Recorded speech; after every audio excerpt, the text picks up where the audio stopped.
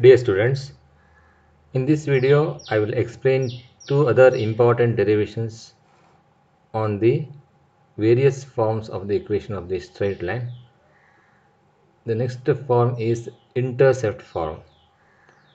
Here both x-intercept and y-intercept of the line will be given and we have to derive the equation of the line when both x-intercept and y-intercepts are given.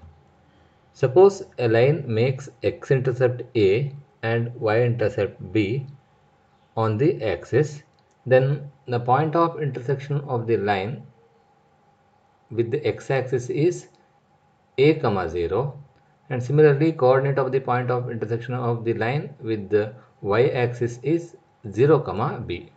Now you got two points on the lines that is a in bracket a comma 0 and the other point is 0 comma b.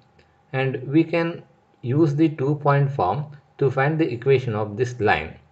By two point form of the equation of the line we have the formula y minus 0 is equal to b minus 0 divided by 0 minus a into x minus a. The formula is y minus y1 is equal to y2 minus y1 divided by x2 minus x1 into x minus x1 here x1 is a y1 is 0 x2 is 0 and y2 is b. By applying the formula we will have this.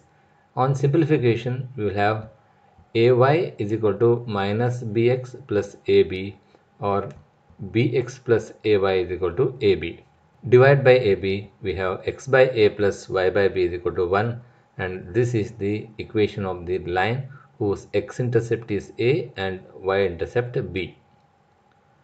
Let us come to the last form which is called normal form.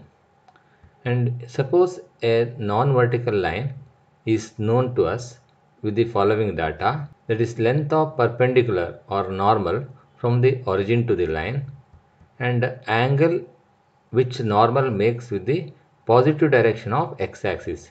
If these two data are known to the particular line, it is possible to find the equation of the line. And length of perpendicular is denoted by p and angle made by the normal with the positive direction of x-axis is omega. And uh, let us take a line like this. This is the required line. And length of perpendicular from origin is p. That is this distance is p. And angle made by the normal this is called normal with the positive direction of x-axis is omega and it is possible to find the equation of the line. And the line may be in different uh, position. In all the cases it is possible to find the value of p and omega. And let us take this line. And this is the line with the angle made by the perpendicular or normal is alpha and uh, distance from the origin to the line perpendicular distance from origin to the line is p and that is this distance is p and uh, this angle is alpha.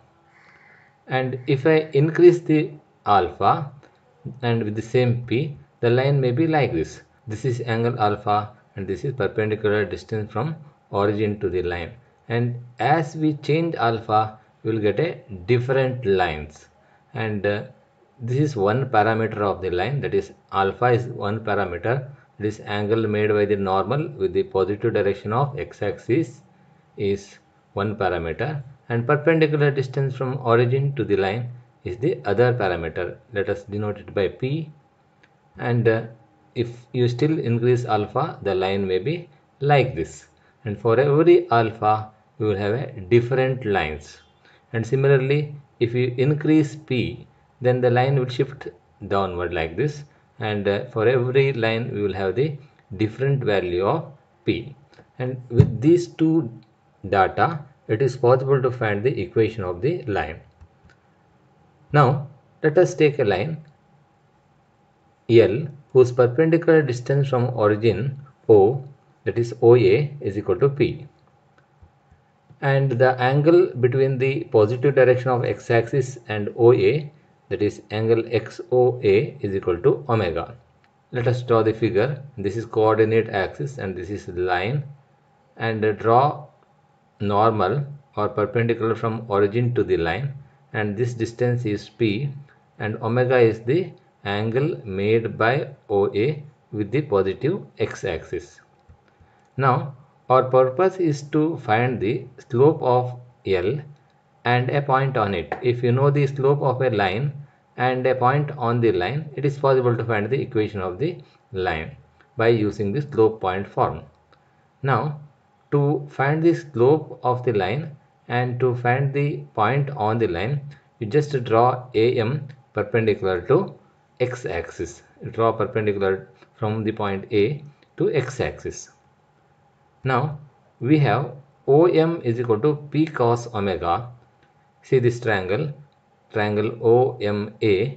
From the triangle OMA, we have cos omega is equal to OM by OA or OM is equal to P cos omega and sin omega is AM by OA because sin theta is opposite by hypotenuse that is AM by OA therefore MA is equal to P sin omega. Now using this it is possible to write the coordinate of A because OM is equal to P cos omega and MA is equal to P sin omega. Therefore the coordinate of A is P cos omega comma P sin omega. And you got the point on the line. And next we have to find the slope of the line. And you can find the slope of OA because you know the coordinate of O and A you can find the slope of OA or even you can find the slope directly because this angle is omega. The slope of this line is or the slope of the normal is tan omega. Further the line L is perpendicular to OA therefore you can find the slope of uh, L the line L which is perpendicular to OA and therefore the slope of the line is minus 1 divided by slope of OA and you know the slope of OA that's equal to tan omega and minus 1 by tan omega. Minus 1 by tan omega is minus cot omega. We got the slope of the line. Once you got the slope of the line and the point on the line you can use the point slope form to find the equation of the line. And therefore the equation of the line is given by y minus p sin omega is equal to minus cot omega. Cot omega can be written as minus cos omega divided by sin omega into x minus p cos omega. Cross multiplying will have y sin omega minus p sin square omega is equal to minus x cos omega plus p cos square omega. You can bring p sin square omega to the right side we will have x cos omega plus y sin omega is equal to p into sine square omega plus cos square omega. What is sine square omega plus cos square omega? 1. Therefore, x cos omega plus y sin omega is equal to p and which is the normal form of the equation of the line. Here the given data are very important. What is omega and p? p is the perpendicular distance from origin to the given line that is normal and omega is angle made by the normal with the positive direction of x-axis. And now let us recall all these formulae together and you have to memorize all these formulas which is very important for solving the numerical question. And the first one is point slope form. The point x comma y lies on the line with slope m through the point x0 y0 if and only if its coordinates satisfy the equation or the equation of the line passing through the point x0 y0 and having slope m is y minus y0 is equal to m into x minus x0 you have to remember this formula. x0 y0 is a point on the line. m is the slope of the line. Then you can find the equation of the line. y minus y0 is equal to m into x minus x0. The second one is two point form. And uh, equation of the line passing through the points x1 y1 and x2 y2 is given by y minus y1 is equal to y2 minus y1 divided by x2 minus x1 into x minus x1 and uh, this is the two point form of the equation of the line. And that is similar to the point to slope form because the slope of the line joining two point is y2 minus y1 divided by x2 minus x1 this is m. And uh, next form that is uh, slope intercept form. The point x comma y on the line with slope m and y-intercept c lies on the line if and only if y is equal to mx plus c. And this is the equation of the line having slope m and y-intercept c and this is an important result and you have to memorize this. And uh, if the line is having slope m and makes x-intercept d then the equation of the line is y is equal to m into x minus d. And this is the equation of the line having slope m and x-intercept d. And the next form is intercept form.